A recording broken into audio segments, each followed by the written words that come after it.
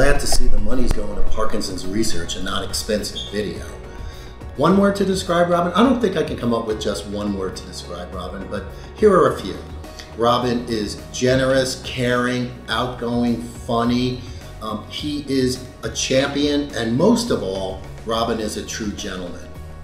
Is that okay, Robin? It's almost impossible to come up with one word because I can't encompass him in one word.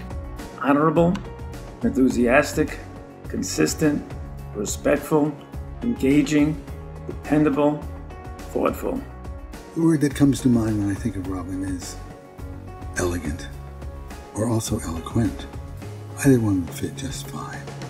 Statesman, scholar, gentleman, and friend.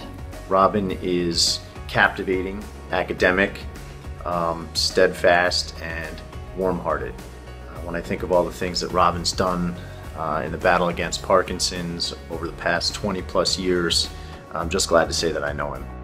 Extraordinary, an extraordinary visionary, and most importantly, an extraordinary human being. A determined leader, a devoted advocate, and a dear friend. 20 seconds to describe, in one word, Robin Elliott.